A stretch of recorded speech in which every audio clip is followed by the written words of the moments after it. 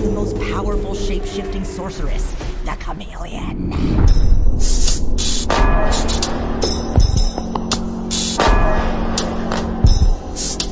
Kyla, big fan.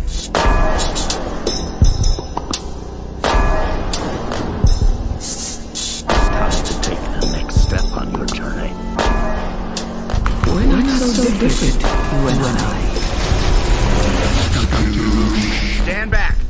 gonna kick my.